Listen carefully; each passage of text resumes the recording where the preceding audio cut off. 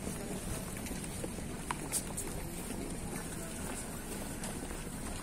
Setelah dua bulan lamanya buron, Polresta Bogor Kota berhasil menangkap ASR alias Tukul, pelaku pembacokan yang menewaskan Arya Saputra 15 tahun di wilayah Yogyakarta.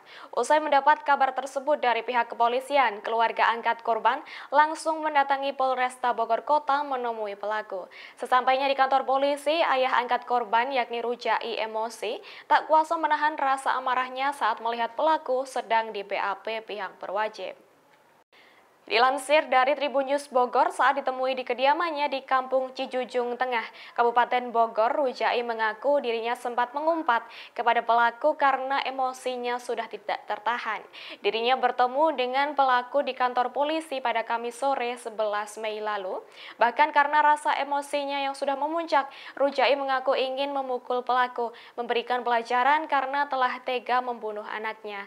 Dikatakan Rujai juga menggambarkan penampilan pelaku yang sangat lusuh saat diperiksa polisi. Tukul saat itu memakai kaos hitam lengan pendek dan celana hitam pendek.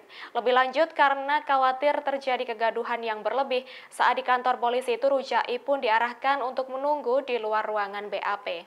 Sebagai informasi diberitakan sebelumnya Arya Saputra merupakan pelajar SMK Bina Warga Kota Bogor. Dirinya tewas terkena sabetan senjata tajam oleh pelajar lain saat hendak menyeberang jalan di Simpang Pomat, Kecamatan Bogor Utara pada Jumat 10 Maret 2023. Kemudian setelah sekian lama kabur, Tukul sebagai pelaku utama pembacokan korban akhirnya berhasil ditangkap di Yogyakarta pada Kamis 11 Mei lalu.